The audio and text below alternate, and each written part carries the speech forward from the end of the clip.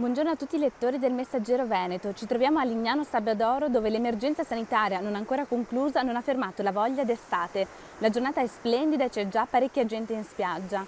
C'è chi opta per una passeggiata in riva al mare, c'è invece chi si è attrezzato già stendendo il proprio asciugamano sulla spiaggia e chi addirittura si è portato il proprio ombrellone. La stagione balneare non è ancora iniziata, infatti l'inaugurazione è prevista per il 3 giugno, sempre se la curva epidemica non salirà ulteriormente. Gli stabilimenti balneari invece verranno aperti il prossimo fine settimana.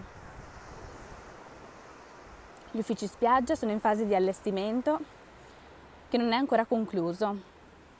Sia Sabbiadoro che a Pineta che a Riviera verranno aperti ufficialmente la prossima settimana, si potrà prenotare il proprio ombrellone.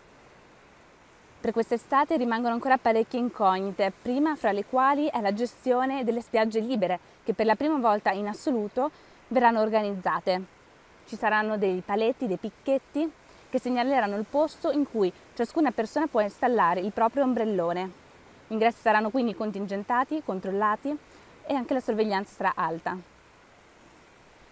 Per il momento comunque fino alla prossima settimana, fino quindi all'apertura ufficiale degli stabilimenti balneari, in spiaggia si può entrare liberamente. Ci si può tuffare in acqua, si può prendere il sole, si può fare una passeggiata, fare jogging o qualunque altra attività fisica, sempre ovviamente mantenendo le distanze ed evitando assembramenti.